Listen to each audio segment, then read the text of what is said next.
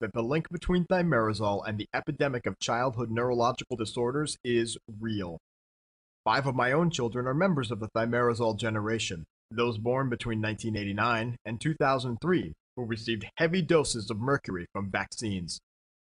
The elementary grades are overwhelmed with children who have symptoms of neurological or immune system damage. Patty White, a school nurse, told the House Government Reform Committee in 1999. Vaccines are supposed to make us healthier. However, in 25 years of nursing, I have never seen so many damaged, sick kids. Something very, very wrong is happening to our children.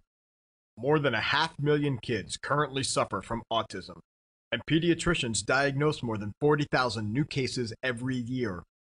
The disease was virtually unknown until 1943, when it was identified and diagnosed among 11 children born in the months after thimerosal was first added to baby vaccines in 1931. Some skeptics dispute that the rise in autism is caused by thimerosal tainted vaccinations.